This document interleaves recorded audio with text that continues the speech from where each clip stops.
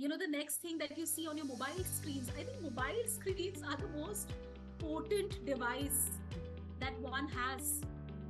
And that's the remote control that you have uh, you know that is there working for you uh, working for the marketer and giving the pulse of the consumer you know every second every day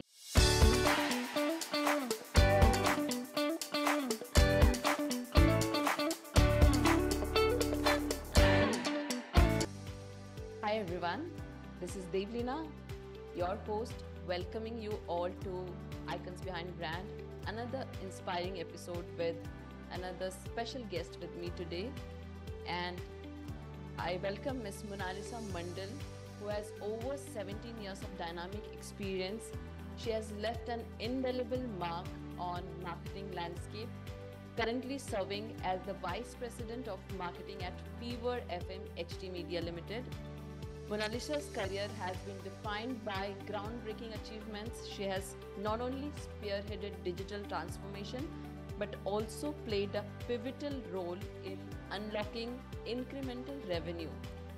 Join us as we delve deep into Monalisa's journey. A very warm welcome to you, Monalisa, on Icons Behind Brands. Thank you so much, Devleena. Uh, I'm uh, really humbled by that uh, introduction. Uh, uh, just the start, I would say. The way uh, transformation is happening in the digital space, I think is just a start. Long way to go still.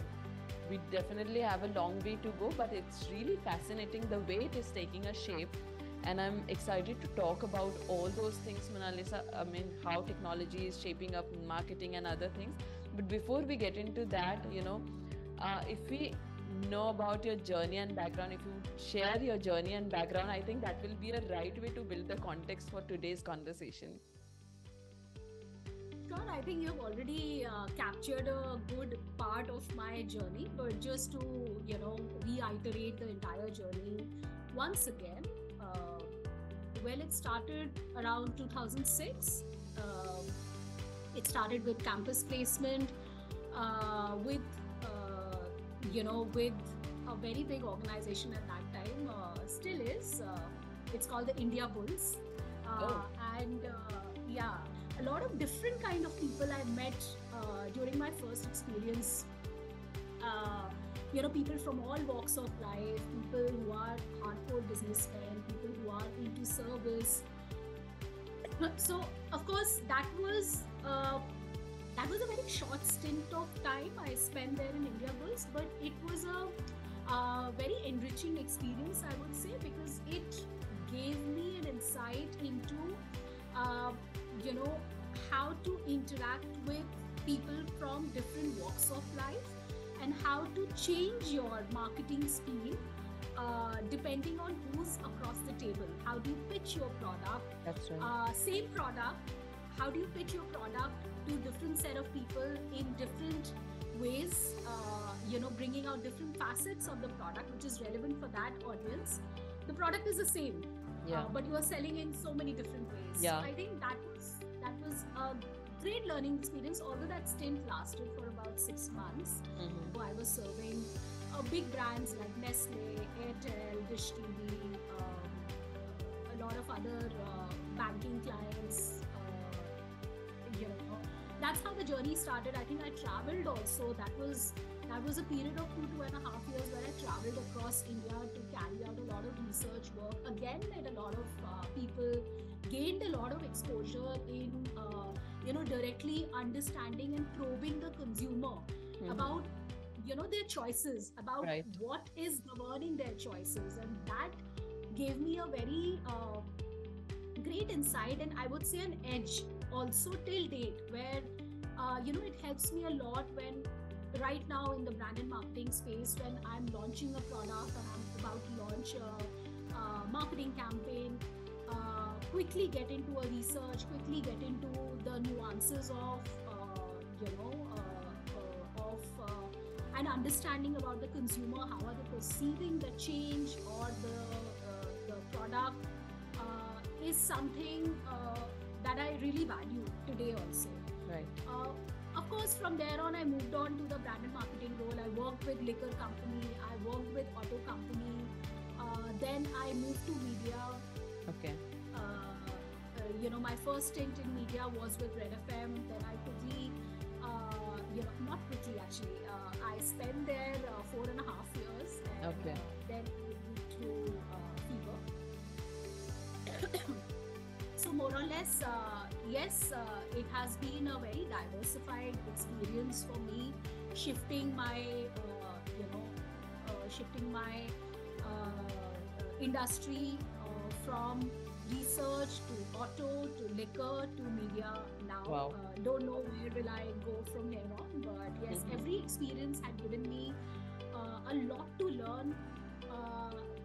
You know, because every time you change an industry, the first six eight months you take time to learn. But uh, I think uh, I I enjoy that experience where I'm actually put into a scenario where it's an open space for me. It's a completely vast field for me to improvise, to bring about nuances, and to think from an outsider's point of view. That has sometimes worked for me, sometimes it has backfired also, but I think uh, it's a part and parcel of the experience that you gain over the period of years. You miss some, there are some hits also, and you keep on improvising, you keep on learning, and that's how my journey has been. That's for right. So many years.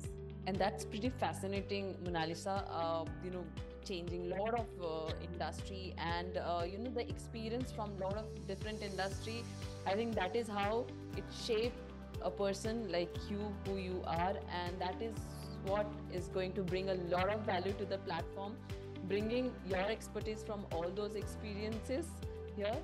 So uh, let's deep dive into this uh, you know and let me uh, go into uh, you know how have the changes in consumer behavior okay? Changes in consumer behavior and preferences influence the evolution of marketing approaches So yeah, uh, I would like to address this uh, with the fact that uh, today, with the uh, with the advent of AI, uh, Yeah. that has completely uh, you know taken the marketing and the digital world by storm. There is so much that is happening in the field of, uh, uh, so to say, marketing, consumer preferences, consumer behavior, and the and the way we are dealing with enormous amount of data that is coming our way. Right. How we are, you know, synthesizing all the data. How we are. Uh, uh, how we are uh, decoding uh, you know the, the overdose of information which is there with us as brand and marketing people sometimes it gets very unnerving sometimes it gets very uh, overwhelming right so let's talk about how it is uh, you know what are the changes and how it is impacting of course we all know uh, that you can't let go of uh, uh, of an eyesight on uh, how uh, digitalization is impacting our uh, strategies that's right in the digital uh, field, everything has become way more personalized, way more targeted. Uh, you know, the fact that the the most important thing which has impacted us brand marketers or uh, digital marketers is the personalization aspect of how we are communicating with our uh, with our target audience set. I think it is uh, you know it is very uh, it is very interesting of how uh, you know right now you can actually target uh, or contextually target your your audience uh, Mhm. depending on their time of the day mood of the day uh, Yeah. you know preferences uh, you know uh, their their habits on digital uh, everything is getting tracked and i Yeah. think uh, all of that information like i was telling you Mhm. sometimes it becomes overwhelming for a marketer to slice and dice the information look into yeah uh, you know so many uh, yeah because that's too interesting- much yeah interesting pieces of uh, data that is getting captured but uh, think of it this way that it also enables Mhm. us to uh, you know ensure that the marketing efforts are very very sharpshooted uh, you know are giving you higher conversions Right. uh, and it is not a one size fits all sort of a strategy that we used to do Right. You know till about the recent past there was a uh, uh, you know there was uh, this this uh, this importance of doing a lot of ATL campaigns television campaigns uh, however right now a lot of big companies are not even looking at ATL campaigns or big television campaigns they are very very sharply defining their uh, user journey on the digital and Right. creating content pegs and communication just to target them on the digital platform be it social media be it uh, via uh, you know via the world wide web. Uh, you know that's one aspect that is that has emerged as the most important uh, uh, evolution. Right. uh, you the know in- marketing in budgets the- have shifted a lot like from the offline side from the atl side to digital side it has like massive changes within few years In fact, I would exactly so becoming becoming very very information oriented, becoming very very um, relatable, becoming very very uh, trending, becoming very very um, you know uh, capturing the moment. Uh, capturing the moment and including those moment marketing into your conversation so yeah uh, coming back to content marketing was saying that uh, making sure that uh, that we are riding on to the moment marketing wave is very important for us marketers as well. So Hmm. the second point is content marketing. The third one is uh, i think it, it has to be uh, marketing and advertising is no more a one way uh, conversation. Mm, it has to be two way right. It has to have a leg where user is also participating in the brand narrative right? Right. So those would be my uh, you know uh, uh, bigger agenda item. The kind of evolution which we are seeing in marketing is uh, you know mind blowing uh, data is one thing which came first and data content uh, then ai and uh, you know the social media evolution influencers. So there are so much to talk about and uh, you have cleared it well here monalisa can you share a marketing strategy or marketing campaign idea that you know you have always wanted to execute but uh, haven't had uh, the chance to do so? And uh, how might you adapt it for a real world scenario for that i think i really adore what zomato does with its marketing campaign i uh, am very uh, uh, I'm very fond of uh, Zomato's uh, all the marketing campaigns that do So because prompt. again, like I told you, zomato is so prompt in everything like i mean the kind of marketing yeah, yeah that's that's what you have to you have to capture the moment. You, you so the moment,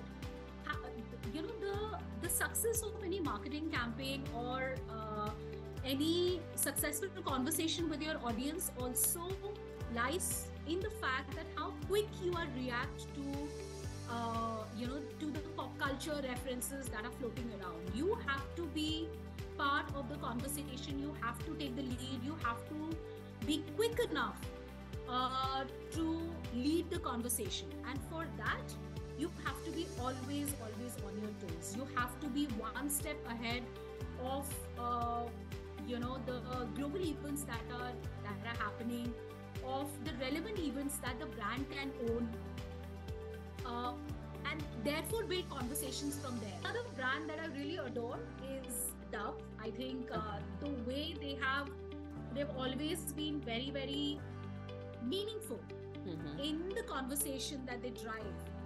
Uh, they, they again, uh, there is a purpose to the conversation. I think uh, the Gen Z uh, these days are looking forward to brands with a purpose. Yeah. They're very particular about, uh, you know, uh, how woke the brand is, what kind of conversations is the brand participating in.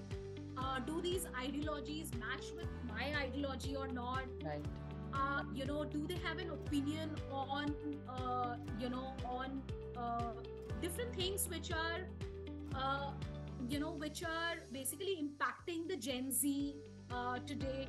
So to be able to uh, you know kind of uh, again bring them into the conversation it is important that you are driving some of your campaigns with that filter in mind. Up has become very mindful of the fact that what are the spaces that they own what are the conversations that they are owning?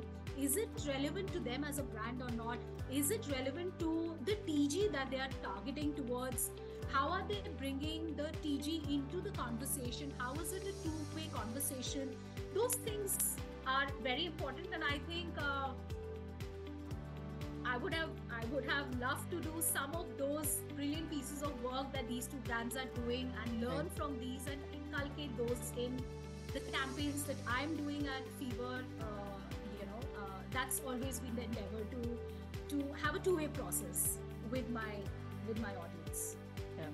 And today's audience is much more evolved. Uh, you know, uh, they exactly know what, and they uh, for them uh, brand is not just a product and service it's much more than just a product and service it's their persona they relate to the brand i mean uh, whether this is you know resonating well to me or not and that's how they decide to go ahead uh, with a brand so i think the responsibility for any brands and businesses are much more higher because the expectation from the consumer is much more higher than what it used to be right? Absolutely, absolutely. Uh, can you share your viewpoints on you know potential downsides of hyper targeted marketing and how do you strike a balance between personalization we spoke about personalization and respecting user privacy so that is one of one more concern uh, to the user side and also it's a concern from the marketing side that how to reach your user without you know uh, uh, without uh, disturbing their privacy? A double-edged sword. you know, both the sides are as important. While it is important for uh, for the marketing fraternity to ensure that the budgets are efficiently utilized, and for for that to happen, personalization is important. For that to happen, targeting is important for that to happen. We need to ensure that we are dicing the data to an extent where I'm sending relevant communication to the relevant set of audience at the right time. Uh, while all this is happening, think of it from a consumer point of view. We all know that sometimes it becomes very creepy.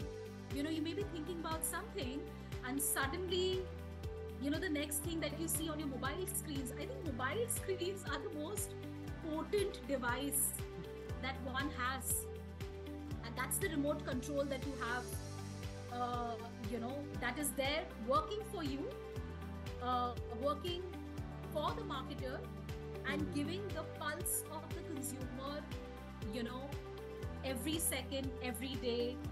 Uh, while it is important like i told you while it is important for us to ensure that that information is captured uh, we need to be cognizant of the fact that how much can you intrude the privacy mm. how much to what extent can you go right uh, therefore it is a fine line where do you want to you know how much you want to pursue that customer mm-hmm. and where do you want to stop that mm-hmm. is something that we as a fraternity is also learning.